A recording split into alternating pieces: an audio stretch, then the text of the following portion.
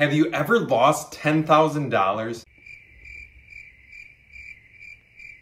Now, I'm not talking about a, a, bet gone bad or misplacing the money in your, your mattress or your sofa at home. I'm talking about legitimately losing $10,000 on a bad investment. In this video, what I'm going to tell you is a condo we did went bad. The condo right here, that condo we lost $10,000 on just because it wasn't a good purchase. And if you want to hear the learning lessons, everything we learned along the way, why we lost money, stay tuned to the end of this video and I will break down the entire process for you. But if you could, in the meantime, hit the like and subscribe button down below, I would greatly appreciate it. But before we get into it, my name's Carter. I'm a 25 year old real estate entrepreneur, real estate investor. And over the last three years, we've flipped, we've wholesaled, we've bought 80 plus properties. And on the residential real estate agent side of things, I've done over 10 or multiple tens of millions of dollars worth of sales volume um, to give you a little bit of experience. But let's talk about this condo in Omro, Wisconsin. If none of you are aware of it, I will put the address on the screen right here. So let's talk about the property just a little bit to give you an idea on, on where we're coming from. It was a one bedroom, one bath condo that we had cold called a guy on. Now you might be thinking, where, how'd you get the information?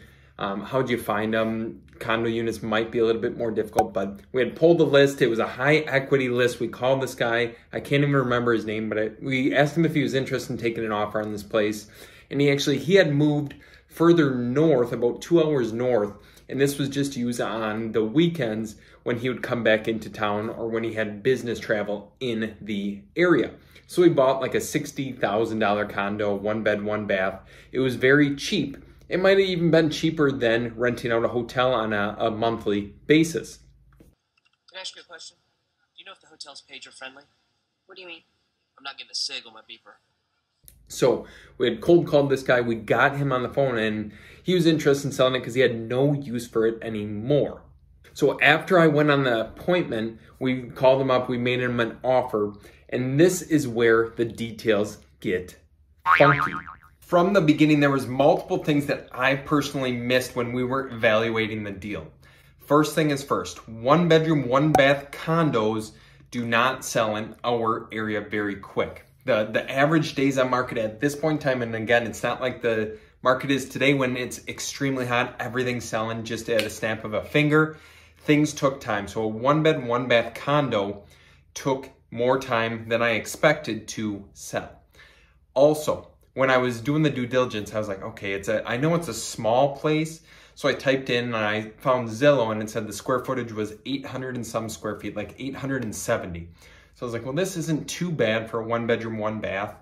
And then I was doing more research and after we purchased it, when we were going to put it back on the market to list it, I pulled up the actual assessment records, which is a quick tip for you guys.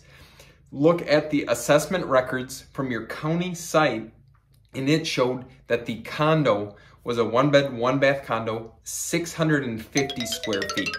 So it was 200 square feet less than I originally had anticipated, which means a lowered after repair value. And after repair value is just what the property is worth once it's all fixed up and repaired. In this unit, the nice part is it didn't need much. We had to do carpet and paint. We were into the property for $3,500 because it was so small and we were able to put it back on the market right away. But when I was doing my initial evaluation where the second pitfall came in is I thought it was going to be worth $95,000 when we sold it. Can you guys guess? I'll give you a, a, few seconds to guess what we sold it for.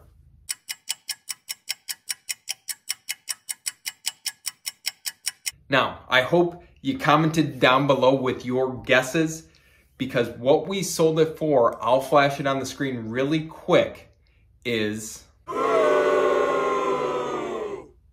Yeah, that is right. We sold it for $30,000 less than originally anticipated. So of course our numbers were going to be off from the start and this is completely my fault. I ran the numbers incorrect, which ended up losing us money at the end of the day. And then going along with that, pitfall number three which again, this is a learning lesson for you guys who are watching this video right now. I hope you take this into consideration, jot it down on a piece of paper. Do not buy a deal just to buy a deal, whether it's a rental property, a flip property, a wholesale property. Do not do a deal just to do a deal. And what I mean by this is there's bad deals out there. Trust me, we've lost money on three deals to date um, and it's been probably about 30,000 or $35,000 total. So nothing significant or nothing crazy that would sink our business altogether, but it's still losing money. It's not fun to do. Pitfall number three was we bought the deal just to buy the deal because we didn't have any work coming up. So I was like, okay, we're gonna get in, we're gonna paint it, carpet it, make a quick ten to twenty thousand dollars, get in and out in a matter of two months. That's a, a fantastic purchase opportunity. But at the end of the day, I was overlooking or I missed multiple things that would have probably led us to passing on it or offering a lower price. And it is what it is. It's a, a, water under the bridge at this point. But again, a learning lesson that I want you to take into consideration so it doesn't happen to you in the future. It's a lesson learned. I have found it valuable that you cannot dwell on things like that all too often. Otherwise, they keep coming up. And we've made it our duty to be very strict on our due diligence process. We look at floodplain records, we look at insurance quotes, we look at assessment data when it comes to square footage. We look at multiple different factors. We run multiple different sets of comparable properties, especially on flips and rentals, so we just don't get ourselves in a bad deal. And especially there are so many circumstances nowadays that can affect that after repair value of the property that you should personally be doing your due diligence especially if you're bringing in outside capital to do the deal, that you need to make sure that your investor is protected or that your hard earned money is protected in the deal. So I hope you guys found this information valuable. If you could, please smash the like and subscribe button down below. I would greatly appreciate it. And I will be bringing you more videos every single week, so stay tuned. And I wish you guys the ultimate success, and I will talk to you soon.